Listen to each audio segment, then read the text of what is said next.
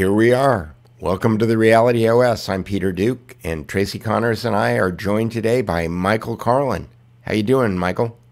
I'm doing great. How you doing, Tracy? I'm excellent. So, what brings us here today, Tracy? Well, you had said you had a nice dinner. I believe it was with Michael and George. Right? Three times. Three times. Oh, three nice dinners with Three Michael nights and- in a row. Yeah. Wow. And that um, Michael had this whole line on Tupac Shakur's murder, Compton PD being corrupt, basically the whole city of, of Compton being corrupt. And I've always been interested in that because I was a senior in high school when Tupac got shot. It's And not we just were- Compton. I know. I get it. I get it. It's Yeah, it's it's bigger not than just Compton. Compton. right? Yeah. But um, I, I've always been interested in the fact that that that murder's unsolved. So I wanted to hear. Michael's made a documentary about it, right? Called "The Battle for Compton," and, And written two books. there Yeah. you go. So this is the man, and he can relate it to all the stuff that we talk about all the time anyway. So it's kind And of a cool and, new and not un, and not unlike George uh, Webb lost a partner along the way Yeah. too, right? Oh, wow. Yeah, no doubt. Yeah. Yeah. And we can talk about that too. You know, it's still painful. I'm sure it's painful for George too to talk about. So where do where do you want to start, Tracy? Well, I think we should start at how Michael got. How did you get onto this thread to begin with? You don't So strike I'm- me as a Compton rap fiend, you know. No, I mean, I never set out to do this. And, you know, a lot of us that get involved in this stuff don't set out to do this. But I had worked with a couple, and there was a Laotian man who had worked for the CIA, and he was being extradited back to Laos, which was going to be a death sentence for him. And uh, I got involved with this couple, and we were very successful in getting him, you know, the extradition stopped for a time while we were working on it. We were calling the State Department every day, and there were a bunch of us that were behind this, and we were writing articles and sending out stuff. The gentleman's name was Mua Tuater. And uh, so, anyway, after we kind of finished up that project, the couple said to me, Hey, you got to meet our nephew. And I was like, Who's your nephew? They said, Russell Poole. So I started talking to Russell Poole on the phone. We had many great conversations. And then one day we met. And he started talking to me about the confession letter to the murder of Tupac. And and for the audience, who was who is Russell Poole?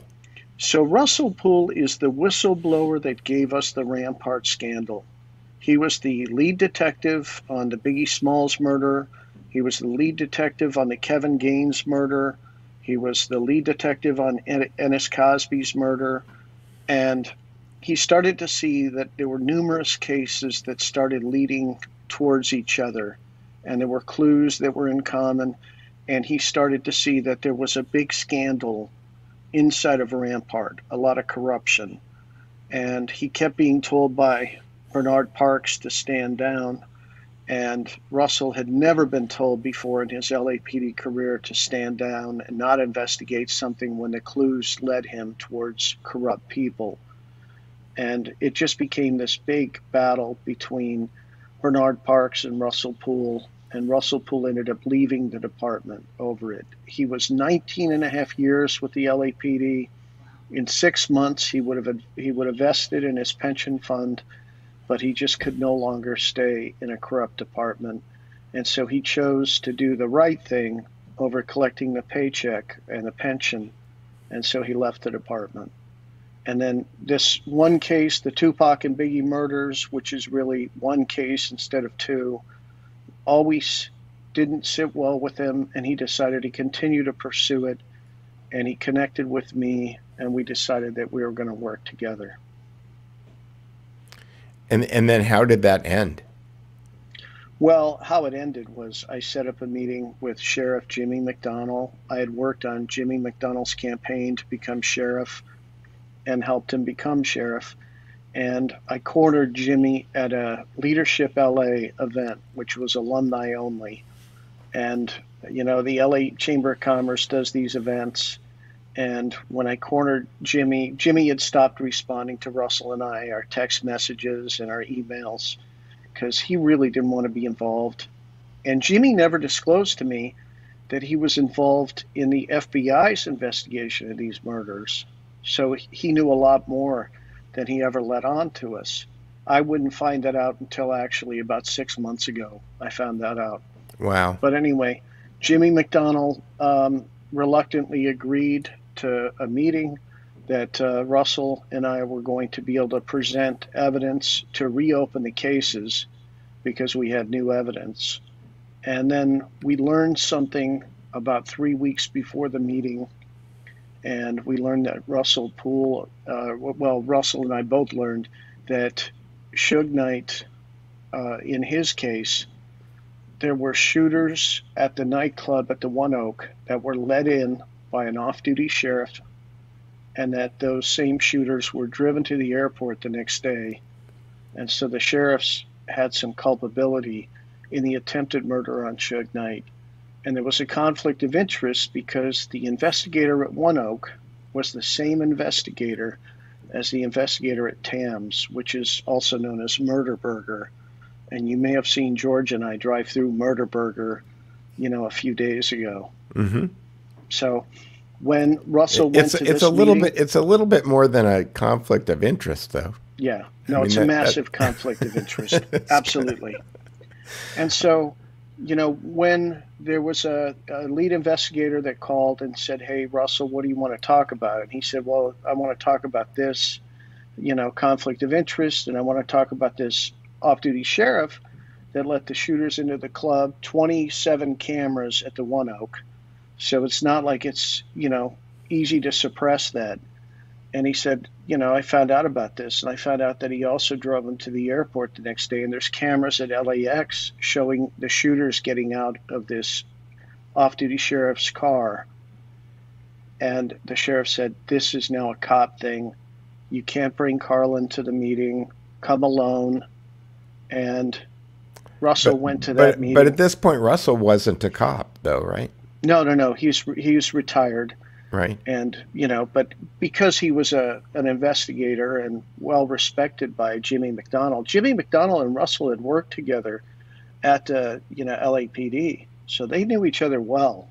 I just reintroduced them to each other. Mm-hmm. but you know I said to Russell hey you don't really have to go to this if you don't want to. No no no. I want to make sure that you know I don't want to disappoint Jimmy over this. I'm going to go to the meeting and Russell went to that meeting and he died in the meeting with the sheriffs at sheriff's headquarters. Uh, what's the cause of death, allegedly? So here's the interesting part. The family was told he never got into the meeting. He died in the waiting room. Jimmy McDonald himself told me, he said, at the conclusion of the meeting, Russell grabbed his chest and passed away and had a massive heart attack. And when the LA County coroner's uh, autopsy came, they said it was a brain aneurysm, not a heart attack. So none of this makes any sense. I mean, it does make sense.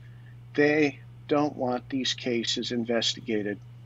And when you think about it, you know, if Tupac, which there were LAPD cops in Las Vegas at the time Tupac was murdered, if Tupac's lifetime earnings had to be paid by the city of Los Angeles, and by the way, those cops were on duty at the time, then the city of Los Angeles would have to pay out a billion dollars in Tupac's potential lifetime earnings, plus potentially triple damages. And then if you look at Biggie, it's the same thing. So you're looking at an $8 billion problem. And that's why they just don't want these cases open. And how many other cases would this lead to? How many other settlements? How many other payouts? Well, Rampart was a $125 million payout, and they capped it off. I, I don't know. I, I money money is one way of looking at it, but uh, what you're talking about is like RICO on a on a on a radical scale, on a on a on a Washington D.C. scale, right? Oh, yeah. Uh, no, these yeah. are big numbers. It- yeah, but it's but I yeah, but I don't even think it's about money. I think it's about the number of people that are going to wind up going to jail uh, or Yeah, having the that too. yeah, you know, just That too. And it leads to drug trafficking, it leads to money laundering, it leads to murder for hire, it leads to all kinds of bad things. for LAPD, and it was already the most expensive and worst scandal in police history in the United States. Really? Yep. So you do a you do a, a, a really good job uh, in the book and in the films, the because you've made a few films about it. You've made a movie and then you've done some YouTube videos that I've watched, and yeah, you you really kind of you know do the George Webb style kind of uh, uh, deep dive on this. You know, uh, you you talk about all of the details and all of this stuff, um, and uh, it's it's amazing how many names and relationships there are because it, it's it's like the George Webb kind of stuff. It gets difficult after a while to kind of like juggle all of the things. So.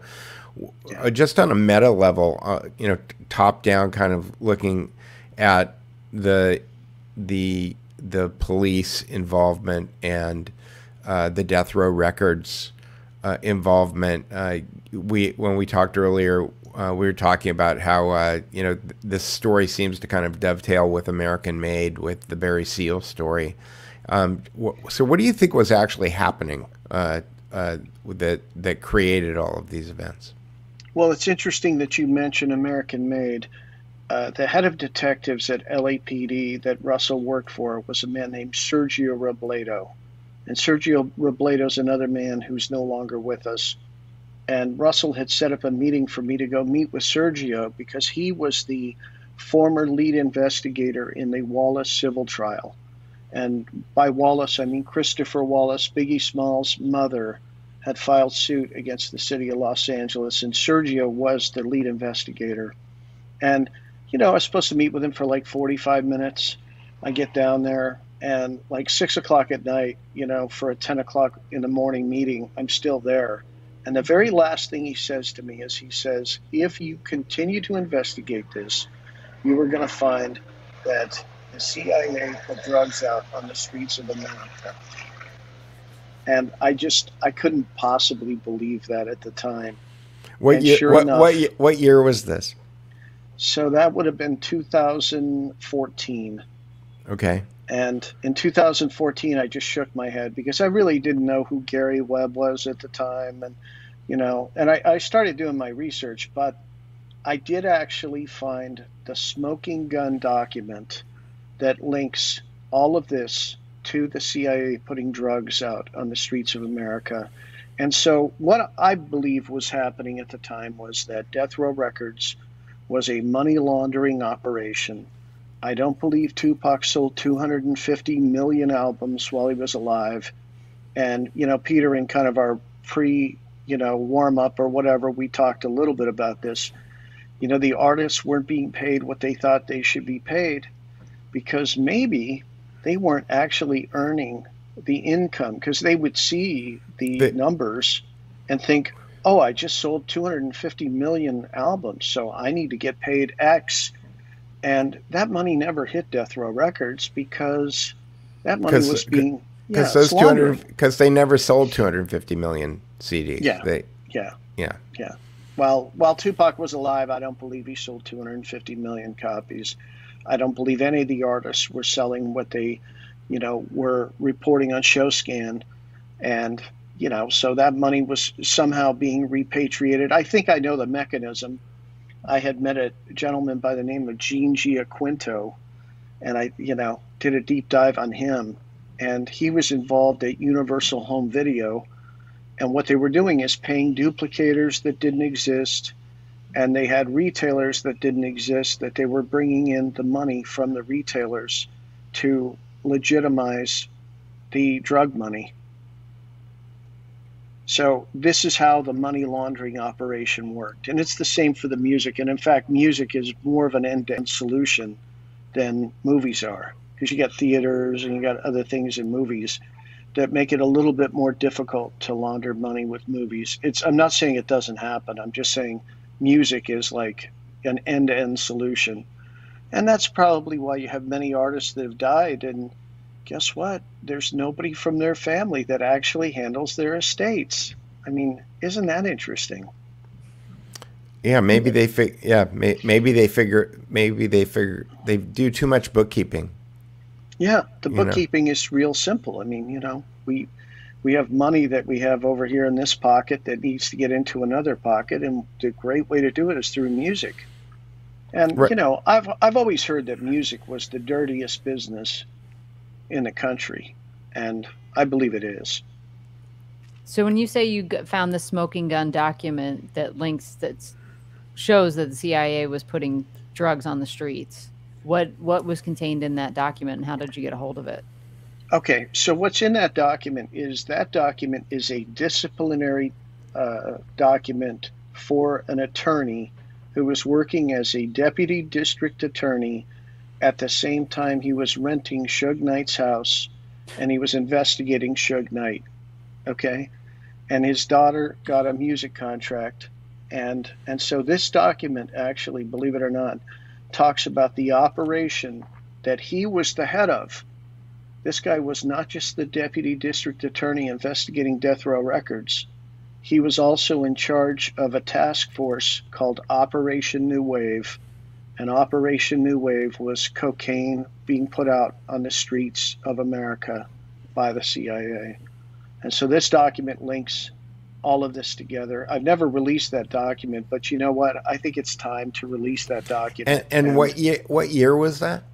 So this is uh, I want to say 90 I think this popped out in 1996 late 96 but the discipline I don't think happened until 97 and he got reprimanded not a big deal. He got fired from the DA's office. But I think it's time to get this document out. So I'll commit to you guys that we'll release that document. Great. So this guy's investigating Suge Knight but living in a house that he owns at the same time? Yeah I mean, that's also a huge conflict of interest. And yeah. Yeah, Peter probably knows LA is just rife with conflict of interest, you know. And until I got involved in this, there were, uh, you know, every single person that was involved in the Death Row Records stuff was saying no cops ever worked for Death Row Records, and that was the official party line. And then as I started to dig in, I found documents. And then I went and talked to Beverly Hills police, old salty dog police officers. And they were telling me about, you know, we hated it when Rafael Perez and David Mack and Kevin Gaines would show up here and they would flash their badges and they would tell us that, you know, we couldn't touch them. And we knew they were bringing their drugs and their, you know, crime into our city. And we hated it. And there wasn't a lot we could do because politically, you know, there was some kind of deal worked out, but they were always told to stand down. It's like mean, the it's like the scene in American Made where Tom Cruise offers to buy all the cops Cadillacs. Yeah. You know. Yeah. yeah. You should have taken you know, the caddies, boys. Exactly. yeah. Yeah. Yeah. Uh, I, I forget the uh, drug dealer's name, but he was down. He was caught in Costa Rica and the people who caught him, he said, Look, I'll cut a deal right now. I will pay off Mexico's entire debt, their national debt, if you let me go. And that tells you the kind of money that's involved in this stuff. Yeah, it's it's yeah, it's really interesting. Uh, sidebar: Somebody tweeted out this morning that my you know Michael Bloomberg when he ran for president, he he um, he spent uh, five hundred million dollars running for yeah. president and somebody tweeted out that uh, he could he could have written a check for a million dollars to every American and saved himself 150 million dollars uh, in in that campaign. Be, yeah. And and uh, and then you know when it was happening at the time, you know I immediately thought, well, Michael Bloomberg isn't really running for president. What he's doing is he's financing all these TV stations for the for the election run. So he's you know he's because what who gets the money when when somebody runs for president? The TV stations who are running yeah. the commercials get the money. And just under COVID, his wealth has gone up by ten billion dollars. I mean, that's a lot of money. Yeah. Yep. So there's a lot of shenanigans that go on with money, and uh, and I, have to- totally hijacked the conversation now. Mm-hmm. So no, I mean, it's, it's so I'll stop now. It's fine. No, it's fine. um, so so you met these policemen, and these policemen had a story to tell, and uh, and did something happen to the second policeman that you're talking about? Which which second? Or was uh, it Sergio? Robledo? Ser- Sergio, yeah. Sergio Robledo. You know, he had a heart attack. He was young and in pretty good shape, and you know, I mean, you know, supposedly Russell had a heart attack. Supposedly Sergio What, had a what, what kind of shape? What kind of shape was Russ in? Russ was walking five miles a day. He was living out in Palm Desert, and uh, you know he he had a spring in his step. He had a new woman that he was seeing. You know he was excited about going to this meeting, and you know I just couldn't believe it was like a non sequitur. All of a sudden, you know Russell's dead, and I found out about it through a Tupac fan out of England. He he texted me and said, "Hey man, is it true Russell's dead?" And I was waiting to hear from Russell about the meeting and you know I, that sent me into a tailspin. I mean, it was, you know, Right. So, you, so, but, and then you released the book immediately because you that you hadn't even finished writing because you That's just correct. you just wanted to push it out, right? I called Sergio Robledo once I found out and said, "Hey, man, I don't know what to do." He said, "Take the manuscript, whatever you've got, release it as quick as you can." So I pulled an all-nighter to clean it up the best I could, and I sent it out to like three or four thousand hip hop magazines and people that I knew were in hip hop, and just got it released. And then I did a press release uh, to make sure that people knew that it was out, and if they wanted copies, they could contact me. And I had a lot of people contact me and released it for free. I mean, you know, it wasn't about making money at that point. It was about just getting the information out, and that's. I think that was a smart move, actually, in retrospect. Yeah, it could have saved your life. Yeah, Yeah. I think so. I think I'm, I'm happy that, uh, you know, but of course, as things kind of heated up here, the place that I would go and be safe was would be China, believe it or not. So I ended up going to China and spending time over there. And I wrote a book for the Chinese market as well, which is about the same stuff. It's called An American Murder, but it was released in China and did real well over there. Interesting. Um, so that was just a way for you to kind of like lay low and uh, Yeah. and, Yeah. and and keep it going. Um, And so, what has the reaction been? I mean, uh, you, you talked about uh, Tom, Tom McDonald. Is that his name? Uh, Jimmy Ji- McDonald. Jimmy McDonald. Uh, yeah. I remember when he was running. I asked him if he was going to start if he was going to start issuing concealed carry permits, and he he's he gave me a a three minute non answer. yeah. Um, uh, at, at which point I, I lost kind of interest in him. But um, uh, so well, there was a big there was a big scandal under Baca with the celebrities that all had you know guns and badges, and it was you know celebrities were able to carry, Mhm. and you know Baca had his own troubles, and Baca was actually a really good friend of mine. You know, he went off to prison. My understanding is he's been released.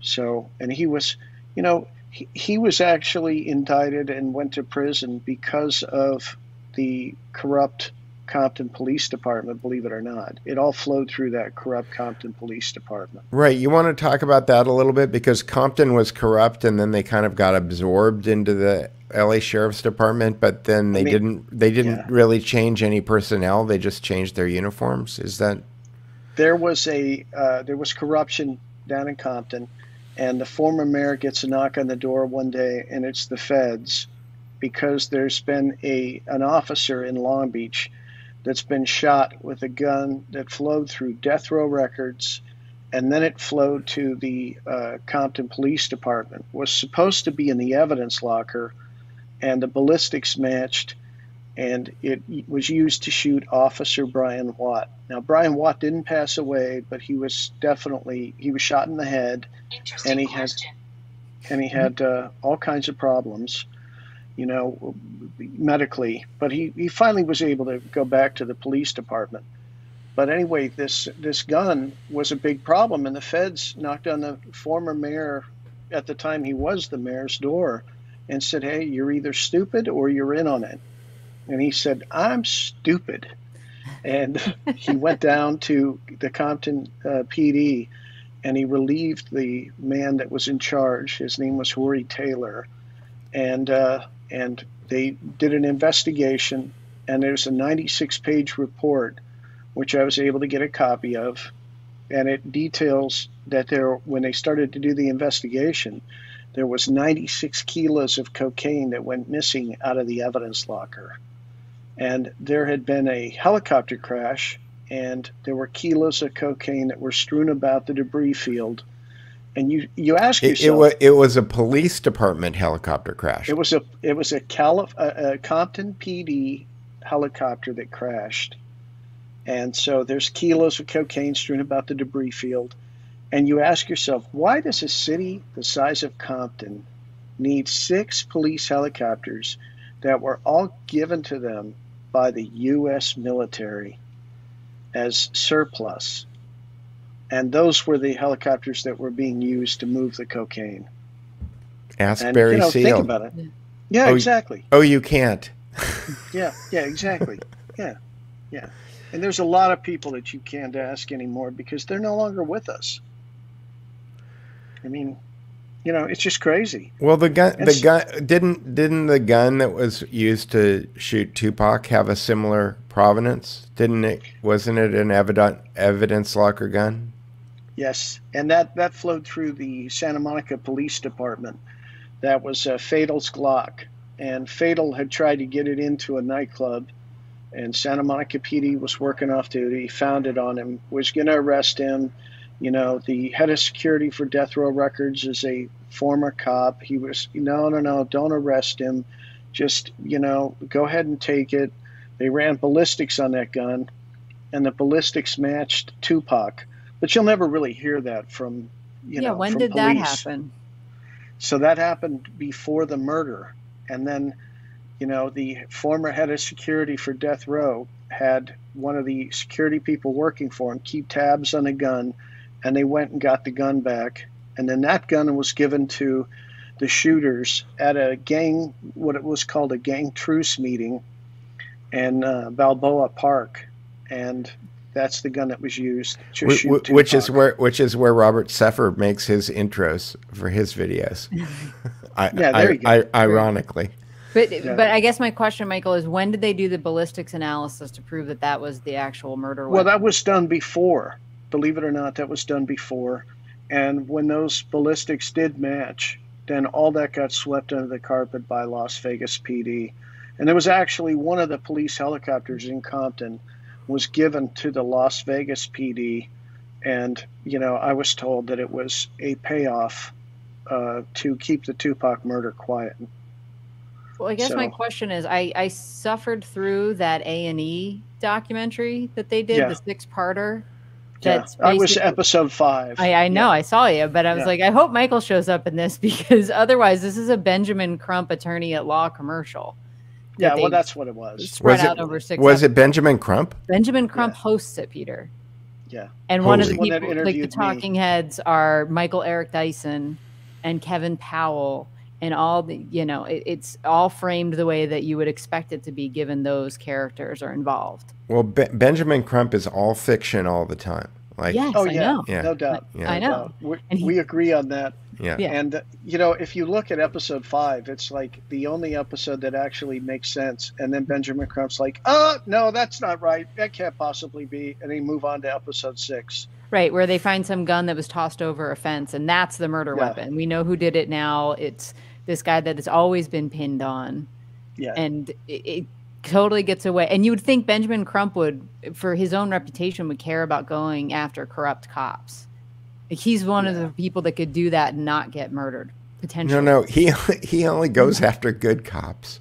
I, I Yeah. get that, Peter, Let's- but I'm saying if you actually wanted to be the hero that he thinks he is and portrays himself as, and he's apparently convinced a whole bunch of people, including Tupac's poor brother, who's in the whole the whole thing, getting dragged along. Like Ben and his his team are going to get to the bottom of this. Doesn't this sound like a George Webb school play? I mean, you know. hey, and by the way, I, I I have to give a shout out to George because as I was investigating this, you know, at a certain point, I became aware of George Webb. He started talking about school plays. I started seeing, you know what, that's what this is. It's a school play. And so I give props to him because I would never have gotten to where I got with this investigation if it hadn't been for George. And it's a school play. You've Mhm. got uh, Benjamin Crump, who plays the Al Sharpton, the Jesse Jackson character. He's the new version of it. and comes into all these cases He, and inserts he himself. I, I, I would argue that he is 10 times more effective than Al Sharpton or Jesse Right. Jackson ever were. Like, Yeah. he- you know, Ferguson and Trayvon Martin and Black Lives Matter and all of that stuff would not have happened without Benjamin Crump in the background just pulling all of the strings. Sure. But Well, he's like the next generation. He's taking the torch. Yeah. And actually, the very last episode, the final scene is him sitting, I think, in a church with the Reverend Al. And Al Sharpton hadn't been in the entire six hours of the thing. And he's like, why the hell's he here? Oh, it's just to kind of symbolically say Crump is the new guy. yeah. Oh, So he's anointing him. Yes. Oh yeah, of course. It- it's really They're passing growth. the baton. Yeah, and you know what? They perfect these things. You know, they start out doing it, and you know, and as they get an experience modification, they learn how to do it better and better and better, and it just, you know, look, Benjamin Crump's much better. Mm-hmm. He is. And he's got a law degree, which is more Yeah. dangerous. But I mean, this is the story. If you can get your story out, this could actually unseat that fool potentially. and I don't think to anything's gonna. Yeah, really, you investigated Tupac, and and you came up with this BS when there's here's this and that, and we could take down a whole bunch of corrupt cops. And you know they they have clips of Tupac because if people aren't familiar with his uh, family, they were Black Panthers. So Yeah. there's a clip in that A and E thing where he's going off about you know corrupt CIA, corrupt cops, corrupt FBI, like this whole system is rigged and there there's little side mentions like if if Tupac had said I want 100 white people, 100 black people, 100 Latinos to show up at City Hall and we're taking out the government, they would have done it the next day. So that was one of the motivations that they looked at and said he could actually lead a revolution against these guys. Well, and that all goes back to J. Edgar Hoover. I hmm mean, you had the Black Panthers show up at the California Assembly, 150 people, all with their guns. You know, they brought them in legally. There weren't actual bullets in the guns, but you know, that's kind of intimidating. And then you had shootings in South Central where the Black Panthers would show up 150 deep with their guns, asking the police at the scene of the crime how this happened and confronting the police and that was very intimidating. And you had J. Edgar Hoover say, you know, if there's going to be black militants, they're going to be dead black militants, and he declared war on the Black Panther Party. And you know, this is all fairly well documented. Sure. And, And Shakur, and Tupac- Shakur, yeah, Shakur's mother is in is is still in Cuba, right? No, it's his aunt. No, that's, That's his his, aunt? aunt. Yeah, That's his aunt. That's his aunt. Yeah. No, his mom's his mother still- passed away sadly, Yeah. Yeah. and she's another one. Drinks a bottle of water, has a heart attack, and passes away. I mean, you know, and the estate's worth, you know, whatever, probably hundreds of millions of dollars. You know, they've they've monetized the estate a lot more now since she passed than before she passed. Sure. So, you know, she was uh, a, she's a very interesting person because she was a Black Panther. She was on trial for murder. She defended herself successfully against a murder beef while she was pregnant with Tupac. Yeah. And the fear of J. Edgar Hoover was that there would be a black messiah that would arise. And so anytime there was somebody that started to have a voice, they would immediately set about to either do a character assassination or an outright assassination. And it's really a sad commentary that our government would employ these kind of methods to go after anybody, to, you know, Well, it- it- destroy them. Well, it's interesting that you say that because you know the conclusion that I've come to is that it's not our government; it's the mob, and the mob uses the government like a skin suit in order to, uh, you know, give themselves a patina of legitimacy. That if you if you look at how the FBI has been behaving uh, you know, openly in the last five years, the way that the Justice Department has been uh, acting openly in the last five years, and then you trickle down that behavior to all of the localities around the country, and you basically the the country is run by the mob, and they have these things called elections in order to make everybody believe that there is uh, some kind of government, as my friend Greg calls it, uh, that is that is running things. But Um, if you look at you know the zoning laws that are just being trampled all over the United States right now, and the fact that uh, uh, uh, private home ownership is just disappearing right in front of us, the Great Reset kind of stuff is happening. It's like the, these are not unrelated. You know, the, the the drugs and the money laundering and the and the manipulations of stock markets and th things like that. They're not, they're not unrelated. And and so I think that we fool ourselves when we when we look at this and call it a government. If if you've got guys in the LAPD who know that other guys in the LAPD are criminals and are racketeering inside the uh, LAPD and they they have figured out that there's nothing that they can do about it. Like that should be the story of the century. You know, but here you are on the reality OS with 31 people watching uh, live. More people will watch this later. but, you know, this this should be a monstrous, huge story. But uh, it doesn't get on the front of the Los Angeles Times. It doesn't get on the fr front of the New York Times and uh, people don't know that it's happening. So I'll get off. And we basically have no, we have media that's being controlled by a few companies. They're mega companies. They all talk to each other. You know that used to be called collusion, restraint of trade. There used to be monopoly, you know, powers to come in and shut them down, and we don't have that now. We don't no. have that at all. And I'm with you about the mafia because there was a marriage between the mafia and the CIA and it was probably just before the Kennedy assassination, probably Bay of Pigs. Might have been before that. Might have been drug trafficking out of Southeast Asia or drug trafficking, you know, all the way back to World War II. Mm-hmm. And you know, we just we don't know the extent, but and and it's not the entire government; it's factions of the government.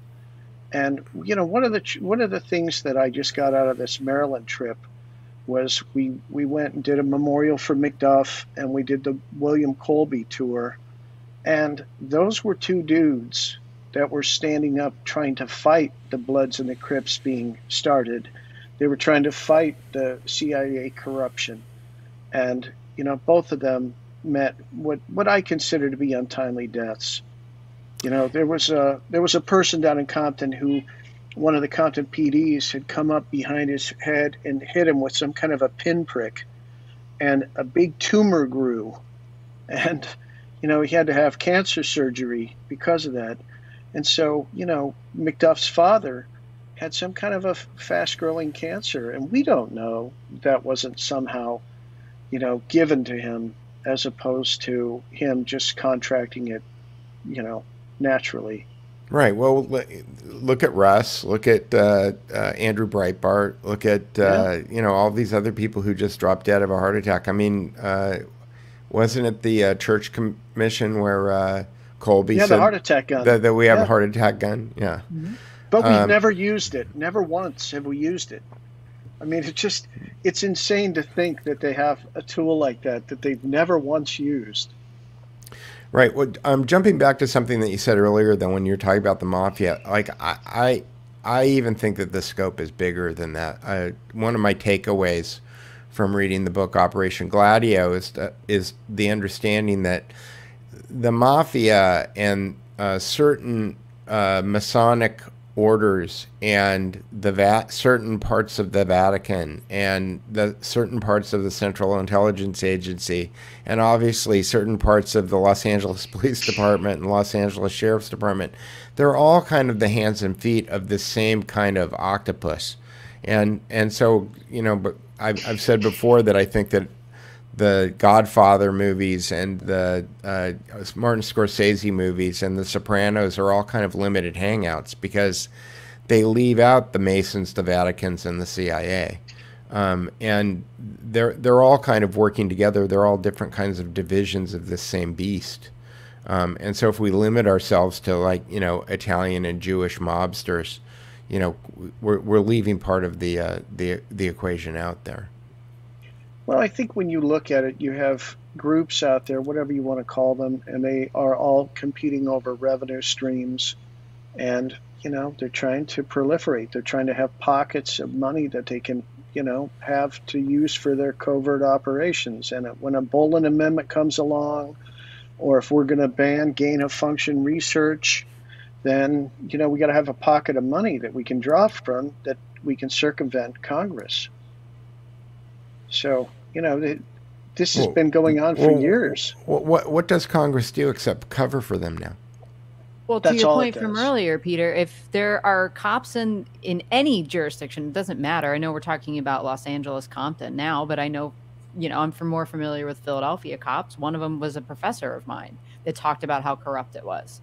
And if there are cops that aren't corrupt, that aren't blowing the whistle on the corrupt cops, they're just as liable, in my opinion. And the same goes for Congress. They know that all this stuff is going on, and if they don't, then they need to be the hell out of there because it doesn't take genius to pay attention a little bit but they aren't doing anything to rein this stuff in. Well, you know what? You bring up a good point. One of my uh, former films is about an American who served as a Mexican federale. And it was really the first time I was ever exposed to corruption. But I remember going with him to border Mexico. And as I'm coming back, I'm like, you know what? It's a good thing that all of this corruption stops right here because we don't have it on our side. And he just laughed at me. He says, Oh, you're so naive. He said, Who do you think we deliver the drugs to? I was like, What? We have corruption in America? He's like, We deliver it to the sheriffs and the police. He said, We don't deliver it to normal people over here. And half the time he was facilitating drugs getting into America, and the other half the time he was taking down drug dealers that had fallen out of favor with the Mexican government. And, you know, he just thought I was so naive, and I was back then, completely. So, you know, it's it's been going on for a long time. That interview, I did the key interview in 2000, and I waited until 2013 to release the film because we just had to wait for people to pass away. It was too dangerous. Sure. And sadly, Lobo, who was in the film, is no longer with us, too. You know, they eventually got him. As we were completing the edit on the film, he was shot outside his house. And then, you know, they ended up getting him a few years later. He lived through the, you know, the shooting. I don't know why anybody would do that job. Yeah, well, he was making a lot of money. I mean, he would get his uh, his state checks when he was with the state police, and they'd stack up because he was making you know tens of thousands of dollars a month. And then when he became a federale, after he got fired, by the way, from the state police for arresting one of the, you know, political leader's son, you know, so he gets fired and he gets promoted to become a federale and starts making hundreds of thousands a month. I mean, you know, Wow. And he's- that's he- legit? Like that's their government paychecks are hundreds of thousands a month? No, no. It was like a vending route. You know, Okay. he'd go collect his vending route. oh, I got this prostitution ring over here. I got this money laundering thing over here. I got these drug dealers over there. So he's These the- people the are printing IRS. titles to, yeah, they're printing titles to stolen cars. You know, he told me about all that stuff. And all that stuff's going on over in Mexico. And, you know, I just, oh, it couldn't possibly be happening in America. Wow. But then you find out it is. And it doesn't matter where you start the So, investigation. so are, are are the Mexican drug cartels like the beta test for what they're going to roll out in in the United States? Is that what's what we're really dealing with? I think so. I mean, I think what we're looking at is the you know the splintering of the cartels is what created the hyperviolence.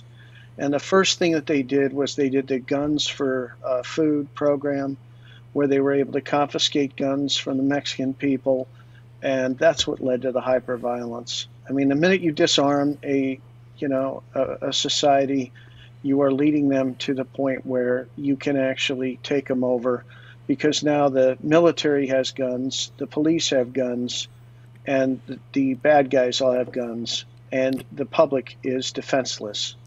Yeah, look at New Zealand and Australia now. Yeah. They're But it's and Mexico was the same.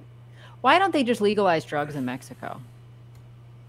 Well, Would that make don't this violence go away? I, I think it's always the same answer. It's it's because the Yeah. people who are making so much money right Right. now don't want anyone else to make Exactly, that but much you would money. think if we're told all this crime is happening because of the illegality of drugs, and you have these competing gangs, it's like if we made it legal, what happens? I got an answer for you, and it's and it goes right back to Compton. There is a lawsuit that's happening right now, and it's a uh, it's a one of the marijuana dispensaries down in Compton. Okay, they call it the Aja Brown tax. It's a nine percent tax that they have to pay, but they don't pay it to the city of Compton directly. Okay, the there these authorities have been showing up with fake warrants signed by a superior court judge, but it's all copy paste. It's not real. And they raid the marijuana shop, and one of the raids was documented. It was sixty thousand dollars in uh, in in cash and a hundred and some thousand dollars in weed. They confiscate the weed and the cash. It never shows up at the city of Compton, and then uh, you know, and they've got literally hundreds of weed stores, and they're they were they came into Compton on a loophole, so they're not permitted. They're not legal but they're making so much more money off of illegal weed shops that they just let it proliferate. And why would you ever want to legalize it when the city officials are, you know, the city? So, I think it's so. The, so that's the Mexican federale model. I mean, it is. It yeah. is. You're going you, around. You, are collecting money. Right. It's a vending machine, and you're going there and collecting. I mean, there's there have been a hundred raids and if you look at the model, okay, 100 raids times $260,000, that's a an awful lot of money over the course of a few years. And where's that money go? It goes to, you know, it goes to these officials and some people that are probably not officials. And then what do you do with the weed and the money? You cut up the money and you sell the weed someplace else. Mm-hmm. And there's people that are caught up in this investigation right now and we'll see what happens. But you know what I think is going to happen? I think nothing. I think there's going to be some slaps on the wrist, and you know somebody gets paid off, and the uh, whole investigation just goes away. So, the the, the civil suit right now is, um, and and you know what the uh, the weed shop that's that filed the civil suit is called the Chronic. Doesn't that sound like Death Row Records? That was a Snoop album. No, yeah, Dre album. That was a that was a Dre and Snoop was on that album yeah. too. That but, was his premiere you know, or debut, right? It was called Compton Chronic. Was the uh, is the name of the weed store, and uh, and Suge's uh, former attorney's brother is the guy that owned the weed store. So I mean, you know, this it stuff just keeps recycling, and it's all can, in the family. See, it's all in the family. Yeah. Now to jump back to the Tupac stuff, I don't know that I ever got clear what what do you think was the motivation the motive to kill him were they trying to kill Suge and Tupac and who yes. done it okay. okay. so so here's really what happened you had a uh, a ring of cops and the ring of cops one of them was known for actually went to prison for stealing evidence out of the evidence locker and he was stealing cocaine well previous to that, Snoop's murder trial, the evidence for Snoop's murder trial was in LAPD Pacific Division, and they didn't have a lot of security on that uh, evidence locker. And these cops ran an operation, a school play, if you will, to go steal that evidence out of the evidence locker. And so when it came time for the evidence to be presented, LAPD was hemming and hawing, and they you know, at the trial, and they were embarrassed because they couldn't find the evidence, and you know, and Snoop gets acquitted. Well, what happens when you bring a ring of thieves into the record label? Well, they start looking around and saying, you know what? We could steal this stuff. We could steal this record label. So they enlist Suge Knight's estranged wife and her boyfriend is one of the corrupt LAPD cops, and they decide that they're going to take down the record label. And the perfect time to do it is when Tupac and Suge are in the car together. They're going to kill them. And so that's what they decide they're going to do. They hire gangbangers to be the shooters. The shooting actually doesn't go well. And Tupac is expected to live. And what are you going to do now? Now you got to kill Tupac in the hospital, and mm-hmm. you know IVs to the, you know, you it's a direct portal into somebody's bloodstream. Easiest place to kill somebody is in the hospital. Few drops of poison, and no more Tupac. And that's that's what happened to Tupac. And then the Biggie thing, Biggie was just to throw everybody off the trail to sell the East Coast West Coast war. And that's what it was. And you had Rafael Perez, who was on duty at the time of Biggie's murder. He kicks the shell casings and disrupts the crime scene while he's in an LAPD uniform and he's punched in on the clock. You have David Mack, who's there, they're coordinating. You know, he's not a police officer, but he's in uniform. No, no, no. Both of them are police officers. Okay. And that's why the city of LA would be liable for this. And you have a gentleman, and I use the word loosely, who shows up in front of the Petersen Automotive Museum, opens up his car door right in front of the fire department. Uh, when his car door opens, his his gun drops out. He picks it up, stands on the sidewalk, shoots a few rounds into the air just to make sure his gun still works, and then gets in the car and drives on down the road. Well, what do you think the fire people do? They call, you know, the police, they call it in. Now, all of the cops that are in the vicinity are now going down Wilshire Boulevard to try and catch this guy because he's got a gun and he's fired it in the air. And right then, when everybody's chasing this guy down Wilshire, is when the Biggie murder happens. And and they say it's not related. There's no relation here. This has absolutely nothing to one has nothing to do with the other. Yeah, it's called in military t- tactics. That's called a feint. Yeah, yeah, yeah, exactly. And you know, you've got all the good cops that are led astray, you know, trying to chase somebody down, and they they catch him and you know he gets charged with a gun possession or some you know and he's he's out you know no problem. We're going to slap him on the wrist because you know this couldn't possibly be related. Wow. Yeah. Pretty amazing. And, Yeah, and you know what? And and all this corruption it, it all it all you know it, it, it is all related. It does lead to higher places. Things that what we should call as the higher order because you know there are some names maybe we don't talk about or shouldn't talk about you know if we know what's good for us. So we just call it the higher order and this all leads to the higher order. A lot of people made billions of dollars.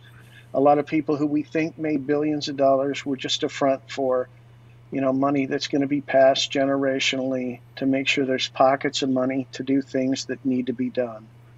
You know no Cutouts. Boland amendment's going to stop us. Yeah cutouts no Boland amendment's going to stop us no legislation that says we can't do gain of function research no no anything but the good news is that there are people like Colby and like McDuff that are actually trying to fight this stuff from the inside. And I think there are more of us that are good people than there are people out there that are bad people. And I think if we all held hands and compared notes, we would find that this stuff would end. And that's probably what needs to happen. I think racking our slides might help too. Yeah, well, you know what? One thing for sure when they do the Guns for Food program in America, you know, don't get suckered into it because, you know, you, No Twinkie is worth it. no Twinkie is worth it. Exactly. And, you know, I, I'm old enough now where I try and eat it for health. And, you know, I, I don't eat Twinkies anymore, but I sure did love them back in the day. But Mm. I'd never trade a gun for. I think you had I think you had three Cobb salads in a row, if I remember correctly. Yeah, I mean, you know, I just try and be healthy. You Yeah. know, it's, you know, so so if anybody wonders out there, I, you know, my blood work is perfect. I'm in perfect health. You know, I'm I don't take light aircraft. I don't get into canoes. You know, I, I try and stay away from you know any of that kind of stuff. I don't go to police stations and you know try and get a murder investigation reopened. You know, try and stay away By from your all that by stuff. by yourself. Yeah, come alone. You know. Yeah. They really got mad when I said that the first time. We didn't tell him to come alone. I said, Well, you told him not to bring me. That's telling him to come alone. Right. It's pretty So what's next for you, Michael, on this on this thread? Well, so I've been down in Compton. I've been working on a film about the birth of the Piru and Piru is really the first bloods. I've been working with the former mayor of Compton, Omar Bradley, and uh, we're looking to get that thing done in the next couple of months. And then I'm working on a film with George Webb, and I'm thrilled about that. I've already shot the key interviews for that. I spent four days with him in back in Maryland, and then we spent time down in uh, San Diego as well, and uh, a few days actually up here in Los Angeles. You know, kind of looking at the the, the pipelines and the rat lines up here, and uh, I, I'm thrilled about all of it. You know, it's all exciting stuff. But as you guys both know, as you're both filmmakers, making a film is a little bit more tedious than doing a live stream. And, you know, you, you definitely have to captivate an audience a little bit more significantly than in a live stream. So it's a little bit more of a process. Yeah. Well, if you can wrangle George, more power to you. Yeah, well, I, I got to tell you, George is just one of those amazing humans, and uh, you know we're all lucky to have him. Indeed. And, Indeed. You know, everybody that's uh, that's following me should be followers of George because, you know, he's really the one that uh, that kind of showed me how the school play thing worked, how to look for metadata, which I think is one of those keys for all of us. Is we got to be looking for the metadata, and you know, we're going to be setting up some kind of a mechanism to fund George's film. We have yet to really set that up, but we're going to set it up. And anybody out there that wants to donate to it, more than happy to, you know, reach out to me. You can reach out to me on Twitter or you can reach out to me at my email, which is really simple. It's Michael Douglas Carlin at gmail.com. Perfect. Well, thank you so much, Michael. Let's see if the, anybody has any questions for you in the last couple minutes here. But I'm definitely I'm I'm I feel like I've gotten some resolution on all of this, Michael. I've been wondering about it since the fall of my senior year when yeah. we were East Coast kids, but we liked the West Coast rap better, so it hit us really hard. Well, you know, all this stuff was an operation. You know, all that gangster rap, it was an operation, and everybody loved it. It, it was effective. I don't think I don't believe he sold 250 million records though. No, not in his lifetime. I mean, he might have sold quite a bit since then. Sure. no, I hear Tupac when I'm in China. I hear Tupac everywhere. I've been all over the world listening to Tupac. But you got to remember, Napster comes out not shortly thereafter. Yeah. So yeah, that definitely changed things. And then Apple, you know, Apple has changed music too. Yeah. So yeah, I bet Kamala really was torn up. Yeah. All right. Kamala's yeah, so, never been to Europe. I mean, you know, a poor woman. Yeah, poor thing. She spent summers in India, though. Yeah. Well. But for some reason, bypassed Europe on the way there. I've never really heard of a vice president that didn't like show up at the White House. I mean, she's been traveling a lot, hasn't she?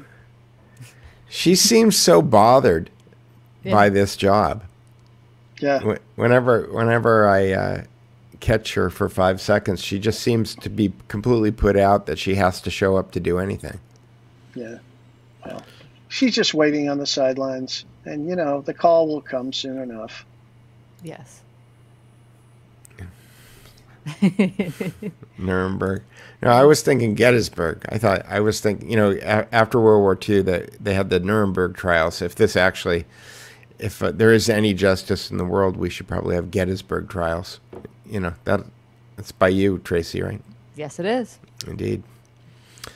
Um, so yeah. So uh, final thoughts. Um, so uh, I I I'm I'm mostly uh, aligned with you, Michael. I'm I'm not sure that there is a solution to this that's self-evident. Uh, you know, barring um, I, I, was thinking about uh, the original version of SimCity the other day, and uh, I don't know if anybody's ever, ever, anybody's ever played it or remembers it, but as soon as you got your city kind of like operating nominally, so that you know you were collecting enough taxes and you had enough fire department and policemen and stuff, everything seemed to be working well. Then aliens would invade or a, a Godzilla monster would walk would go, rampage through the the town, or uh, you'd get hit with a massive earthquake. Earthquakes were happening a lot.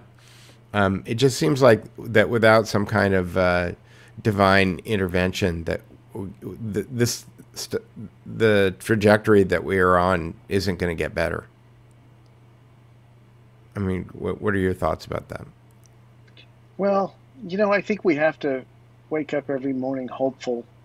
And, you know, there hasn't been a lot to be hopeful about lately. You know, the news has all been bad. You know, coronavirus, lockdowns, people that we know that have businesses are out of business. Businesses we used to go to have been shuttered, you know, and, you know, not a lot to be hopeful about. So I think we need to find those rays of hope where we can and look at the McDuffs and the Colbys and know that there are people that are working inside the system to try and help us solve this. And we have to, you know, they have to be encouraged to come forward and talk about it. And the more we share the piece that we know with each other, I think the the stronger the solution is going to become for us. All righty. Uh, with that, uh, I guess we'll say goodbye. Goodbye, Tracy. All right. Goodbye. All right. Tracy. Thank, thank you, Michael. Everybody, like and subscribe and yada yada yada. We're we're we're still like under 800 followers on YouTube. If we get to that magic thousand, I think we can do super cha- super hearts or something like that. Chat. Um, super chats. Um, so uh, yeah. So tell your friends and neighbors and your family, and we'll And I'm, see. I'm happy to repost this on my channel too. I've got Oh, yeah. uh, I've got like ten thousand subscribers on my channel, and maybe some of my subs will become yours. Well, Oh yeah, we should. Yeah, we should tell people where they can where they can find you. You've got a oh, that that was the uh, TupacMurderSolved.com takes you right to my channel. Perfect. All right. Uh, Tupac murder solved. I'll add that to the notes on here. And then do you have a Patreon, anything like that? I don't really have any of that stuff set up. I Okay. mean, Michael Douglas Carlin at gmail.com is my PayPal if somebody wants to PayPal. And I'll put that right into the film fund for the George Webb Untitled Film. all right. Awesome. And Michael, you and I have to get together because you look much better now than your picture. And Okay. I want to make you look good, man. Well, let's do it. It sounds All- good. All right, indeed. All right. Well, All right. th- thanks everybody. We'll see you next week. All right. Take Bye care. now.